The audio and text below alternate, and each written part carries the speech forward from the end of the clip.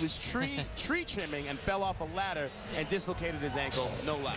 Yeah, not the most dangerous thing this guy does. Big backflip carrying lots of speed into the quarter. Oh, huge. That is ridiculous. Huge flare to the 20-foot mark.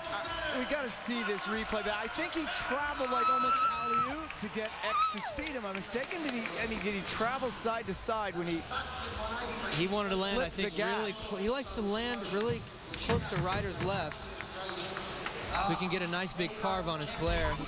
Like Robin right there. look where he's taking off and look where he lands. That's completely like He like traveling sideways. That's Huge transfer so he could get the carve on the flare.